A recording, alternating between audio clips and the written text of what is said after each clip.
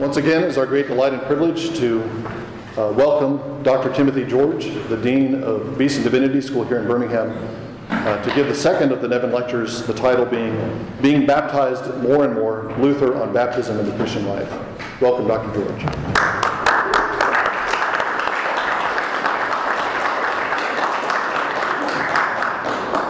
Thank you, Dr. Leithart, and I'm delighted to see so many of you who came back, and maybe some of you for the first time, for an intensive marathon of lectures on sacramental theology from a Baptist perspective. I think it would please uh, John Williamson Nevin that there is a Baptist lecturer speaking on Martin Luther in a Presbyterian church uh, in the second of these Nevin lectures. Well, um, I want to begin with an event that happened on November the 10th, 1483. That was the day Martin Luther was born. He was born in the Saxon town of Eisleben. On the day following his birth, November the 11th, his parents, Hans and Margareta Luther, took their infant son to St. Peter's Church, a short walk from their house where he was baptized by Pastor Bartholomäus Rennebecker. That's a German name for you. Baptized in a baptismal font that has been restored and can still be seen in the Taufkapelle, the baptism chapel, of the church today. I've seen it. November 11 was and still is the feast day of St. Martin of Tours and the little baptized boy was named Martinus after the famous saint. Martin Luther was the last medieval Christian, not the first modern man. To put it that way is to take sides in a fierce debate that was raging among German theologians and historians in the early 20th century. Karl Holl, the leader of the Luther Renaissance, saw Luther as the great pioneer of modern consciousness, the champion of individualism and anti institutionalism, a free conscience, here I stand, so help me God, echoing Hegel's assessment of Luther as the all illuminating sun, which arose in the Reformation to dispel the darkness of the superstition and spiritual bondage of the Dark Ages. On the other side of that debate was Ernst Troeltsch, a brilliant scholar, though wrong headed in almost everything he believed. But not everything, because he said the Reformation does not really belong to the modern world, but to the medieval world. The real break or divide in what we used to call Western civilization, Troeltsch argued, came with the enlightenment in the 18th century, not with the Reformation in the 16th century. I think Troeltsch was right about that.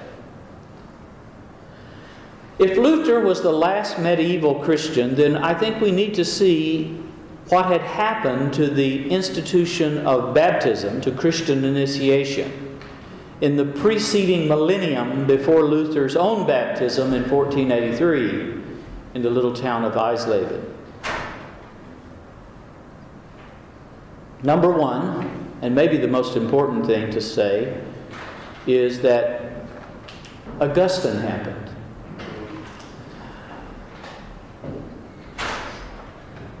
You can usually tell a lot about a person by the kind of things they put on their wall, either at home or in their office. And if you come to my office at Beeson Divinity School, you will see a rather largish print of St. Augustine. Of course, we don't know exactly what he looked like. This is a medieval, uh, rather a Renaissance uh, likeness. shows him at prayer with his bishop's garments and robe and mitre, with demons nipping at his heels. Benjamin Warfield famously said that the Reformation was the triumph of Augustine's theology of grace over his doctrine of the church, which is why everybody claims Augustine. Catholics, Protestants, except maybe some of the Orthodox in the East. He hasn't quite caught on there yet. Luther was baptized on the day after he was born. It was very common. It was the standard way to be baptized in the time of Luther's birth. But Augustine was not baptized until he was 33 years of age. You can still see, if you go to Milan, the octagonal baptistry where he was baptized by St. Ambrose at Easter Vigil in 387. Ambrose tells about baptism in Milan in his treatise, The Mysteries. It involved a number of the things that I described last night dipping in water, the creed, exorcism, and in Milan, feet washing. Of course, concluding with the Eucharist. There were two major developments related to baptism stemming from Augustine's own work and really from two great controversies that consumed much of his later life. The first was a controversy with the Donatists. The Donatists were a schismatic group in North Africa who emphasized, in fact, insisted on the ritual purity of the minister of baptism. And because of certain schisms and betrayals that had happened in the past, they refused to accept as valid the baptism done by certain ministers who had been involved in betraying the Christian faith in a time of persecution. Augustine, on the other hand, claimed that what really mattered as to the validity of baptism was not the personal holiness of the minister, though of course that's always to be desired, but rather the purity and power of Jesus Christ. And so he set forth a view of the sacraments that came to be known as ex opere operato.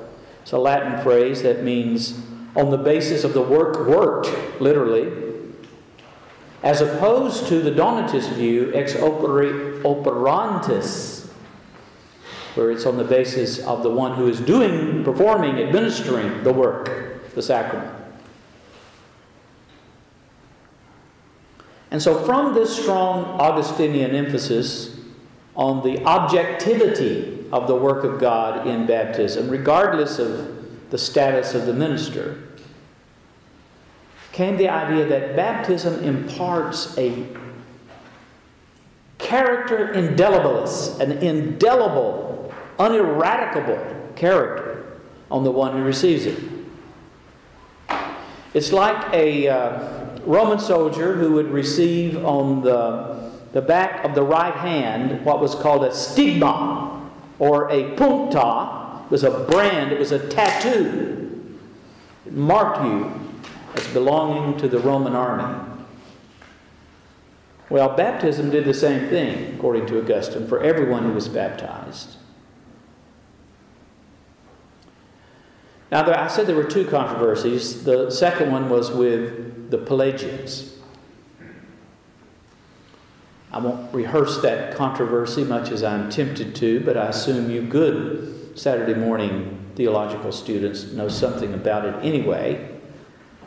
With reference to baptism, it had to do with the connection between baptism and original sin. This was not a new problem for Augustine in the 5th century. Origen had wondered how baptism could effect forgiveness for infants who were innocent, who had done nothing wrong when they came forth from the womb, at least. Cyprian, whom I mentioned last night, gave an answer to Origen's question. He said that it wasn't their own personal transgressions that needed to be washed away. It was the sin of Adam. What we came what was what came to be called original sin.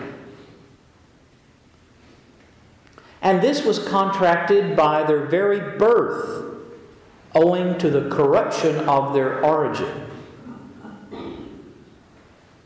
Now, this was in the air, this was talked about by theologians, written about, but it was really St. Augustine who gave this a kind of thoroughgoing and systematic treatment that conveyed it to the subsequent centuries right down to the time of Martin Luther.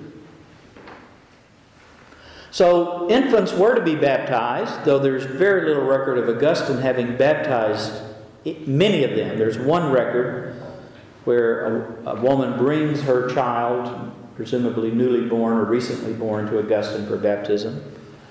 But generally speaking, it's, it's, it's accepted but not enforced as a universal rule at the time of Augustine, though a rationale had been given for it that would be very important for the subsequent development of baptism. Baptism removes the stain or the guilt the pena of original sin. It does this by virtue of the fact that Jesus Christ is present there. And there is an objectivity that cannot be mitigated by the wrongdoings of the administrator. Well, what about infants who die before they're able to be baptized? Augustine ponders this question. It's not a slam dunk.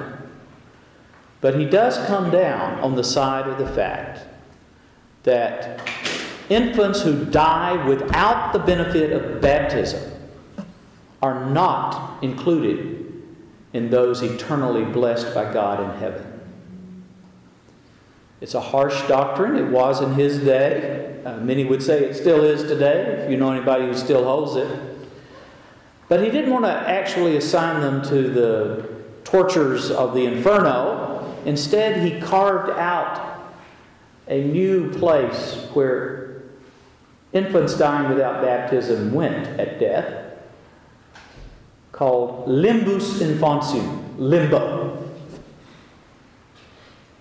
This is why, in the Middle Ages and down to Luther's time, and subsequently, especially in Roman Catholic context, it is imperative, as soon as possible, using every means conceivable, to have infants baptized right after birth. And so the widespread practice, even to this day in Catholic hospitals, of midwife or nurse baptism, emergency baptism. Now, Augustine's baptismal theology helped the church deal with some pressing pastoral problems at the time.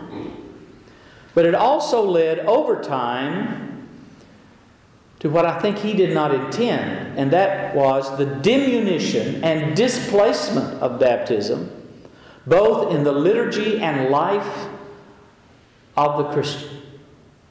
How did that happen? The centrality of baptism, it seems so evident when you look at baptism as it was practiced in the early church, whether in Rome or North Africa or the East. This was displaced by a kind of what we might call penitential Eucharistic piety. In the early church, baptism, while a complex, multivalent process, nonetheless was a unitary event catechesis to Eucharist, with all those elements in various forms that we talked about last night. But over time, this unitary baptismal process that began when the catechumenate started and ended only on Easter Sunday with the Eucharist of the newly baptized Christians, with the whole church, this broke apart and particularly that, that aspect of the laying on of hands, the anointing by the bishop with oil of the newly baptized Christian, this evolved into a completely different sacrament confirmation. And so, penance assumed a greater and greater role in the life of the medieval Christian. Not that there was no penance in the early church, of course, there was lots of it, but the idea that baptism removed the stain of original sin, but there remained in every person baptized this tinderbox of sin. What was it called? The fomes peccati, this kindling that's going to spark into a flame and lead you to mortal sin. And the remedy for that, of course, was not to be baptized again, but to go to penance. And that's why in 1215 at the Fourth Lateran Council, annual confession and annual communion were required of all Christians. The objectivity of God's work in the act of baptism was never denied, but it was isolated. The ex opere operato nature of baptism served to ritualize and desiccate baptism by relegating it to the beginning of the Christian life, dealing with the removal of original sin. We can say between uh, the early church and the time Luther was baptized in 1483 that baptism as a sacrament was Augustinianized in the way I've just described, also Aristotelianized. I won't go into how that's done, but this whole scholastic schema of causation, Thomas Aquinas is maybe the best representative. Luther charged that the scholastics had reduced the power of baptism to such small and slender dimensions that it had become entirely useless. As usual, Luther is exaggerating in his language, but nonetheless, he has this point. Something has happened to baptism that isn't good. It's been compressed into this event at the beginning of life and divorced from the confirmation process, divorced from the outworking of baptism as it ought to be. Okay. Um, enough medieval background. We've got to get to 1483 if we're going to get any further. Both Luther and Calvin were opposed to a theology based on speculation. In the Institutes, Calvin uh, mentions a trick question. He, he repeats a, a, joke, actually, that was told by Augustine a thousand years before. It was still funny in the 16th century. It's kind of still funny today. Uh, the, the trick question someone had asked Augustine was that what was God doing before he made the world? It's a child's question, but not a childish question. Augustine answered with a joke, which Calvin repeated. God was busy creating hell for overly curious people like you. still gets a laugh. What? There are some places you just don't want to go in theology.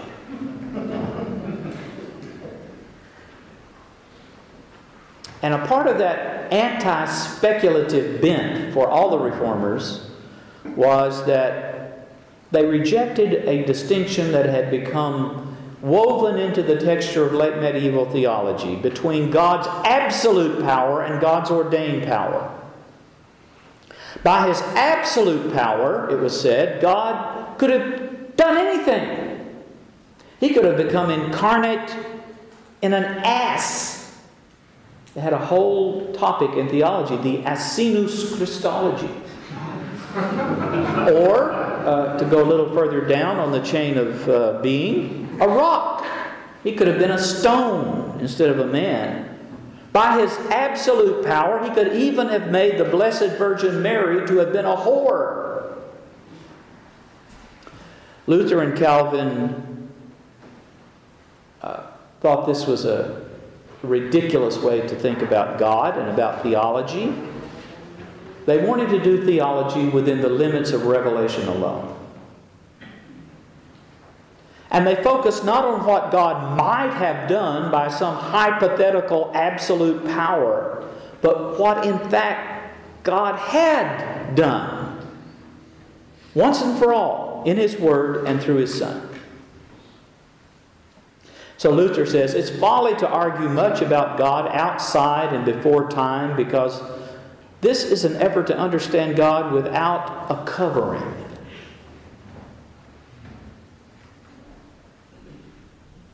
Because this is impossible, God envelops himself in his works in certain forms.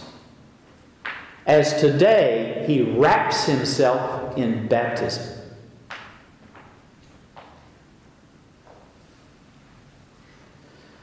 What does Luther mean when he said God wraps himself in baptism? I want to answer that question by focusing on three big, big topics. So I will only uh, be touching uh, the tips of the mountain peaks as we soar above in our supersonic jet. Baptism and the Word of God. I think that's where we have to start with Lutheran baptism. Baptism and faith is where we have to come eventually with baptism and Luther. And finally, baptism and repentance. So, baptism in the Word of God, baptism in faith, and baptism and repentance. Number one, baptism in the Word of God. Throughout the twists and turns of Luther's sacramental theology, initially polemically directed to the Church of Rome, later responding to the attacks of Zwingli and the Anabaptists. So Luther is fighting throughout his life, especially as he goes into the 1520s and 30s, on two fronts the Roman Catholic Church, medieval sacramental theology, and on the front of Zwingli, the Anabaptists. He lumped these people all together and called them Schwärmer. That's a German word that means like a bunch of bees swarming around a hive. The swarmers, the Schwärmer. We usually translate that word fanatic. It's a little prejudicial translation, but nonetheless.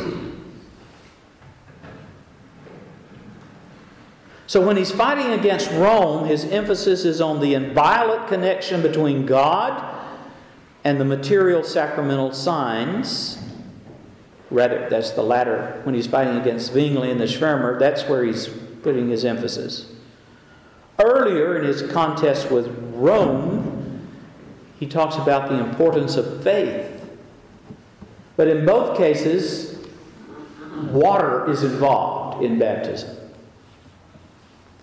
And Luther admits at one level this baptismal water is just plain old water. It's like the water a cook would use in the kitchen, or like the water that flows by the Elbe River in Wittenberg, just common water. But when sanctified, that's Luther's word, by the Word of God, it becomes a divine, heavenly, and blessed water. Thus, Luther can call the water of baptism the true aqua vita, a precious sweetened water, aromaticum, and medicine, which comes into existence because God is intermingled with it. Now, it was precisely that kind of talk that scared Zwingli half to death. How was it not the elevation of the creaturely to the level of the divine? The proper name for which is idolatry. Now we think about Luther and Zwingli coming to a great clash over the Lord's Supper at the colloquy of Marburg in 1529. But long before it came to that, there was this brewing difference between these two great theologians and reformers on the question of baptism. Just as an aside, I think it's helpful to recognize when we're talking about the difference between the Reformed and the Lutheran that for Zwingli and also for Calvin, the great fear against which they are reacting in some ways is the fear of idolatry, of elevating the creature to the level of the Creator. Whereas for Luther, the great fear is presuming on the grace of God. So for Zwingli and Calvin, the specter in the background is paganism. For Luther, it's Judaizing the Christian faith. This comes clear in his great commentary on Galatians 1535. Karl Barth is a latter day Zwinglian when it comes to baptism.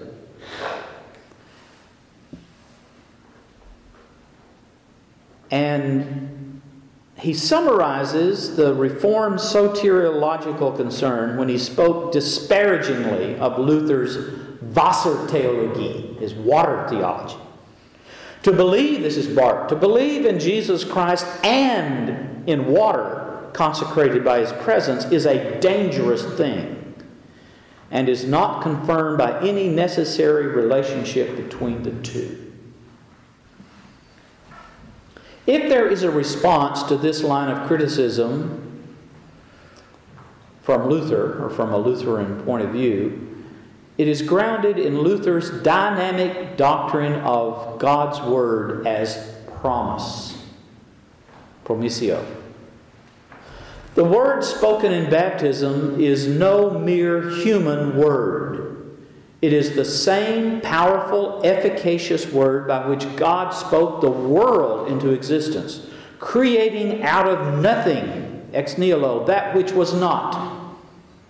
And Luther says if God is able by the word to create heaven and earth, to fill the world and everything that we see with our eyes, why is it not possible for him to take water and baptize. And of course, that Word of God is concretized in particularly the name of the Father, the Son, and the Holy Spirit. Oswald Bayer, one of the greatest living Lutheran theologians in my mind, has described the reformational turning point in Luther's theology as his discovery of the Word as a means of grace. Or as Luther himself put it, ubi est verbum, ibi est ecclesia. Where the Word is, there is the church. That's said in a somewhat different way in Article 7 of the Augsburg Confession, defining the two infallible marks of the church as where the Word is rightly preached and the sacraments are duly administered. These are the notes of the church. They're not the only notes of the church. Luther will later explain, expand this list to include things like confession and prayer and praise and the cross and suffering. But they all are connected to these primal notes the word rightly preached and the sacraments rightly administered. Now, the Word of God for Luther takes three forms among the people of God in the church oral, written, and sacramental. The oral presentation of the Word of God refers to preaching. Luther says preaching is the most important office in the church. It's more important than officiating at sacraments, he says. More important than prayer. The church is a mouth house, not a pen house. It's a place where people speak and hear, not where you write down things with your pen. And so, this hearing, getting this from Romans 10, fides ex audito, faith on the basis, faith out of hearing. Faith comes from hearing. So, how can they believe unless they hear? Paul asked that. Ears are the most important organs of the Christian. And this is not so different than what you find in a document like the Second Helvetic Confession, 1566. It comes from Bullinger. The preaching of the Word of God is the Word of God. So Luther doesn't want to separate this from what happens in baptism or the Eucharist. Word and sacrament, pulpit and baptismal font and table go together in Luther's Reformation theology, and I think also in Calvin's. So the oral Word of God in preaching, the written Word of God in the Scriptures, of course. Luther was Doctor in Biblia. That was his official title at the University of Wittenberg. He was an exegete and expositor of the Bible. And he always took seriously and never repudiated his doctoral degree and the vow he made to be a teacher of the Word of God at the time it was granted. He, now, he, was, he also took a monastic vow. He threw that out the window, married Katie. But his doctoral degree, which was his kind of imprimatur to teach the Word of God, he never gave up that. And so at one point, he says, when Jesus comes back at the end of the age, he will step out on a cloud and he will say, Dr. Martinus, come forth. Even Jesus will call him doctor. The written Word of God, the Holy Scriptures. And finally, the sacramental Word of God, and that's baptism and the Lord's Supper. Of course, the medieval church had seven sacraments. Luther pared them down to two, though he kept absolution confession for a sort of while as a semi sacrament, maybe. But at the end of the day, sacraments require the dominical institution from Jesus himself, and we find baptism and the Lord's Supper. I don't know that he ever took a stand on foot washing where Jesus says, Do this. But in whichever form the word is active in the church, Luther rejects entirely the paradigm that it is human beings who preach, who threaten, who comfort, who baptize, who offer the supper of the Lord. No, he says, it's, it's the Holy Spirit, God Himself, the Trinitarian reality of Father, Son, and Holy Spirit, who preaches threatens, punishes, frightens, comforts, baptizes, and offers the sacrament of the altar. Now, so much on the first point, baptism in the Word of God. I'm going now to my second point on Luther, baptism in faith. Luther's first two writings devoted to baptism says very little about baptism in his pre Reformation writings, a few references here or there. But the first two treatises devoted to baptism are The Holy and Blessed Sacrament of Baptism from 1519, and a very long section in his 1520 treatise on the Babylonian captivity of the church, one of Luther's three great 1520 treatises.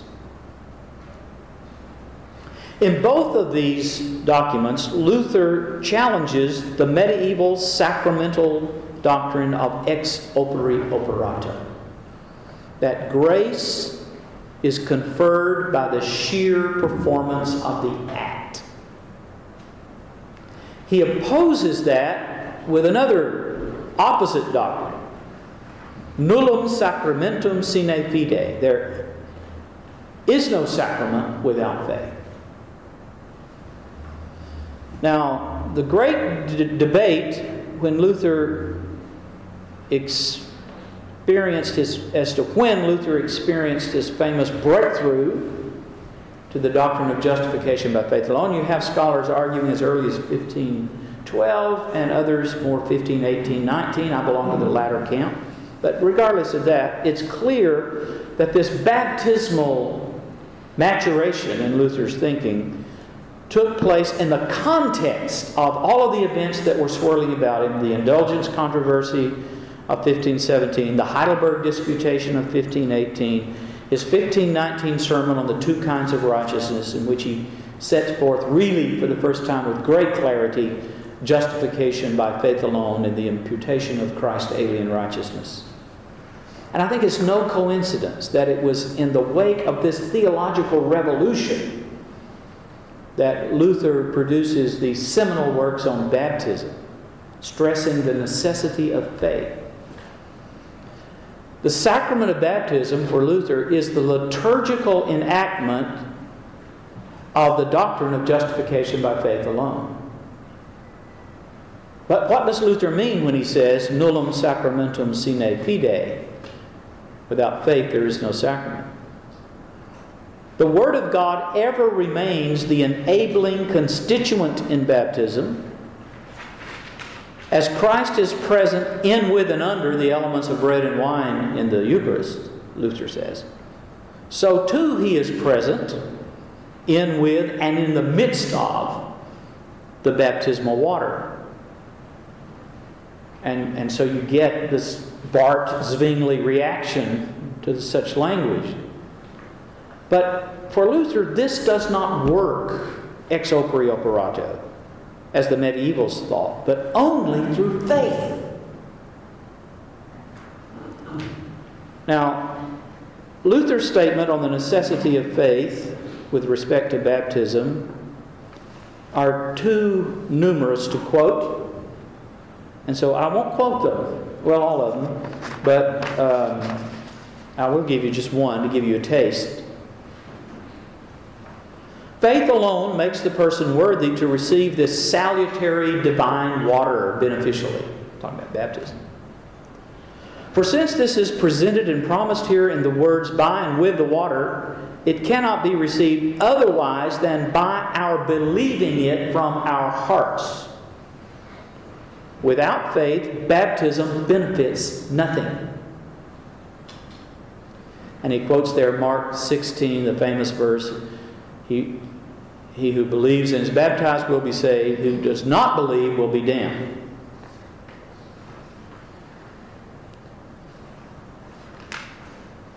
Or in the Babylonian captivity of the church, unless faith is present or is conferred in baptism, come to that in just a minute, baptism will profit us nothing. To be baptized without faith is to accuse God's promise of being a lie, which is the greatest of all sins.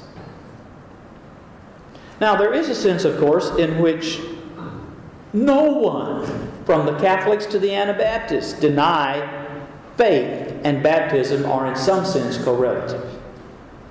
In fact, scholastic theology, in which Luther was trained, which he got his doctorate, distinguished all kinds of faith. There was fides informis, that's a faith that unformed faith that can coexist with mortal sin. There is fides formata, faith active in love. There is fides implicita. This is a habitual belief in what the church teaches, implicit faith. Fides explicita, the conscious and explicit assent of the mind to Catholic truth. Fides quae, Q-U-A-E, the content of faith. Fides qua, Q-U-A, the act of faith. Fides acquisita, fides infusa, credulitas, on and on and on. And fiducia, which is trust in the promises of God. And it is this aspect of faith that Luther puts in so much of his emphasis on fiducia. Fiducial faith is personal trust, reliance, a grasping or taking hold of Christ. It's very different from the Catholic view of faith formed by love, in which faith is a theological virtue, one of the three, to which love becomes the means for its growth and increment, leading finally to final justification. Fiducial faith, on the other hand, is active, living, dynamic. It is a radical gift of grace, and it is inherently personal, which is why Luther keeps repeating those two Latin words, pro me. Jesus Christ has died for me. Let no one hope to be saved through another's faith or work, Luther says. This cannot be done even through the Virgin Mary or any saint's work. No, not even through Christ's work and faith, but only through your own faith. For if you yourself do not have faith, God will not permit Mary or any other saint or even Christ Himself to substitute for you in such a way that you are pious and just. Now, how does the requirement of faith that Luther stresses so strongly, especially in this early period of his work, how does this relate to the baptism of infants? Since the time of Anselm and Bernard of Clairvaux in the Middle Ages, it had been common to teach that infants were baptized on the vicarious faith of their godparents. Luther rejects this belief. And he also rejects the belief that infants are baptized on the basis of their presumed future faith. Though infants certainly can be helped by the prayers of their parents and godparents and sponsors, and indeed, one should pray for the baptized infants that they might fully claim and enter into the meaning of their baptism, grow and mature in Christ. Yes, Luther acknowledges all that's important. But it's not on the basis of the faith of someone else that they themselves are baptized, but their own faith. So Luther comes up with, I say he comes up with, I'm not saying he invented it out of whole cloth, but it is a distinctive doctrine of fides infantium, the faith of infants, their own personal faith. How do they get this faith? Well, it's infused into them by God. They're not even aware of it, of course. They're infants. And that makes them all ready recipients because they don't have all this reason, thinking, questioning, doubting going on in their mind like grown up people do. Setting obstacles before God's infusion of faith. No, they're just there receiving it from God on the basis of His promise in His Word. Now, Luther, this is present already, this infant faith idea in Luther's early writings. It's in the Babylonian captivity of the church, but it becomes much more prominent in his later writings on baptism when he's concerned to confront Zwingli and the Anabaptists. I don't have time to get into that part of the story because I want to go to my third big point baptism and repentance. The, baptism, uh, the Reformation did not begin with a struggle over baptism, but with a dispute about the sacrament of penance, specifically the sale of indulgences. And you know this story very well. Johannes Tetzel, a Dominican monk, came into Luther's territory on the other side of the river in Saxony, teaching uh, when the coin in the coffer rings, the souls from purgatory spring, and you pay your money, and you get your voucher and it works that way the commercializing of God's grace and forgiveness. Luther protested this um, as a pastor. He was concerned about the, the flock of which God had placed him uh, being fleeced, literally, by this kind of manipulative uh, selling of God's divine mercy and grace, at least as it was being presented. There is another theology of indulgences that tries to avoid that, but that clearly wasn't what get, was getting through to the people. Luther knew that. And so he writes the 95 Theses to set forth his own understanding of indulgences. Now, at one level, this is just a small little problem. Okay, pastors have all kinds of problems. You know, they've got to go deal with this or that. And, and so, uh, this is why down in Rome, when they heard about it, they thought, oh, this is just a little monk's quarrel. Luther's an Augustinian, Tetzel's a Dominican. They're up there in Germany quarreling over this little, not even secondary, tertiary problem. What's so such a big deal about it? But of course, that little problem, someone once said that a nuance in an ideological difference is a great chasm. And that little pastoral problem soon opened up into a raging controversy about sin and grace, faith and works, scripture and tradition, papal authority, and all the rest. And you get the Reformation. Now, the word baptism is not mentioned even once in the 95 Theses. But the first of the 95 Theses goes to the heart of Luther's teaching on baptism and the Christian life. When our Lord and Master Jesus Christ said, Repent, he willed the entire life of believers to be one of repentance. This term repent in the Vulgate was penitentiam agite, do penance. Luther was working on these 95 Theses just at the time he received from Basel the newly published Greek edition of the New Testament, the first ever published critical edition of the New Testament by Erasmus, published by Froben in Basel in 1516. somebody brings one to Luther, he begins to delve into it and studies especially this phrase in the Gospel of Matthew, metanoete, repent.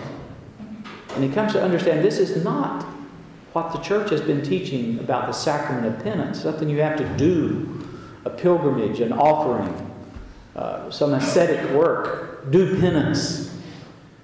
It rather has to do with a change of your mind and heart, with your being turned around from self absorption toward the reality of a God of grace. Now, in medieval scholastic understanding, I've already said this, baptism removed the guilt and stain of original sin, but this tinderbox of sin remained, leading you to mortal sin without the interposition of additional grace through the sacrament of penance, which itself was divided into many different parts. I don't have time to go into that. This, this was not new. This was not invented by Thomas Aquinas. It was a extrapolation out of an idea that Luther traced back to St. Jerome in the early church, who understood penance as a second plank. The idea is that you're on a ship in the ocean, it's about to go down, uh, and you get a second plank. After baptism comes penance. Hold on to penance. That's your second plank. Well, of course, this was precisely Luther's problem in the monastery. I tried to live according to the rule with all diligence. I used to be contrite, to confess numbers of my sins, repeated confession, on and on and on, and yet my conscience would never give me certainty. But I always doubted and said, You did not perform correctly. You were not contrite enough. You left that out of your confession. The more I tried to remedy an uncertain, weak, and afflicted conscience, with the traditions of men, the more each day found it more uncertain, weaker, and troubled. Luther found relief eventually by turning, as he said, to the wounds of Jesus, which his great teacher Johann von Staupitz encouraged. To look to the wounds of Jesus, what Jesus Christ has once for all done for you on the cross. Believe in that, trust in that. And he applies that to baptism to say baptism is not a simple punctiliar event that can be confined to the past, washing away the stain of original sin at baptism. Rather, it remains a present reality throughout the entire life of the believer. That's what Luther's doctrine of baptism in the Christian life is all about. And so we can use language like this Christians are being continually baptized in Christ. Now, he doesn't mean, of course, he doesn't mean that you keep going again and again and again and again to be baptized, baptized, and re rebaptized. He means that the effect of baptism is perduring throughout the Christian life. It's not just something that happens when an infant is baptized, it is something that provides a resource in the presence of God for the entire Christian life until the day you die. Luther rejects the medieval isolation of baptism as the static entrance to the Christian life and elongates its reality, extending to the point of death. And so that's where I got the title for this lecture from the Large Catechism, 1527. We must always be baptized more and more, Luther says, until we fulfill the sign of baptism, dying and rising again, in our own physical, mortal death and the resurrection at the end of the age when Jesus comes again, says Dr. Martinus. So there is a lasting connection between baptism and repentance. Thesis 1. When our Lord and Master Jesus Christ said, Repent, he meant the entire life to be one of turning, returning, again and again and again, being baptized more and more, returning to our baptism daily.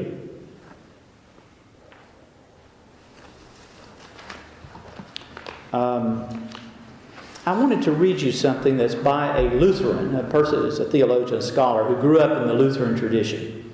It's kind of a personal testimony of how this worked in, in his formation. For Luther, baptism signifies that the old creature in us is to be drowned and die through daily repentance. And that daily a new person is to come forth and arise up to live before God in righteousness and purity forever.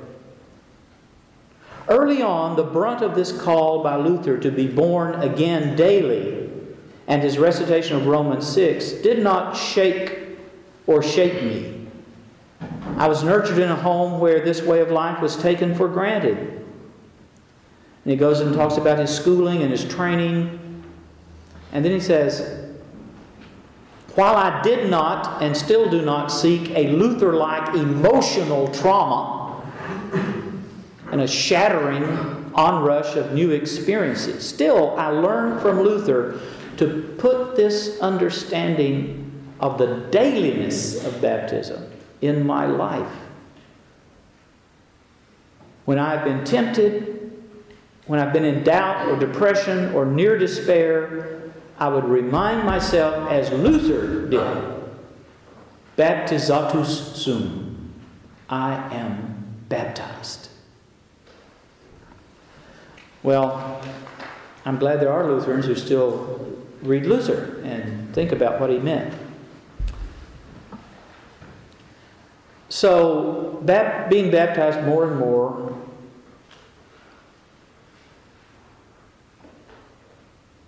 Christian life is nothing less than a daily baptism, once begun, constantly lived in, leads Luther in certain ways to um, deal with the stresses that come to every Christian life. Uh, like the Anfechtungen. That's Luther's word for, not temptation, that's how we usually translate it. It's too weak, means, well, Anfechtungen, the root word there is the German word fechten, which means to fence. Some of you do fencing, you know what that is? We're trying to stab somebody, I guess.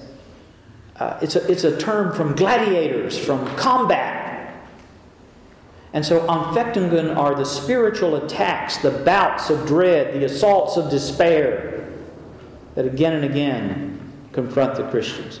So when Luther was in the Wartburg Castle translating the New Testament into German from Erasmus's Greek text, the devil would come with all kinds of temptations and questions and who are you to do this? Are you the only one who's been right in 1500 years, etc., etc.?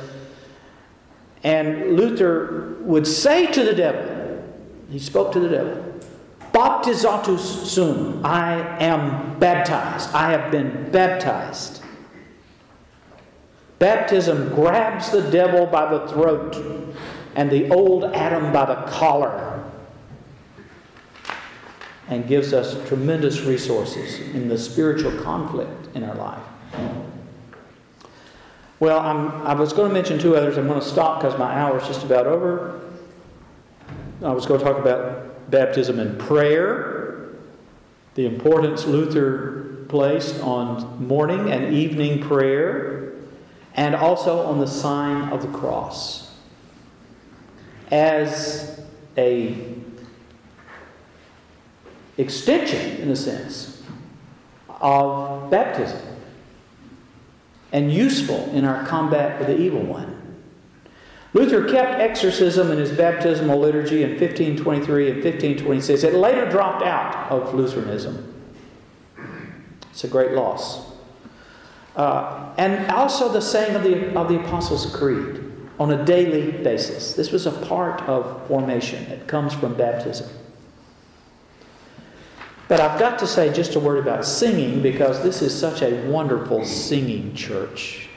Uh, Pastor Lusk is here, and he won't mind me, I think, saying to you all if you've never been to worship here, you must come. The sermons are great, and the singing is also fantastic.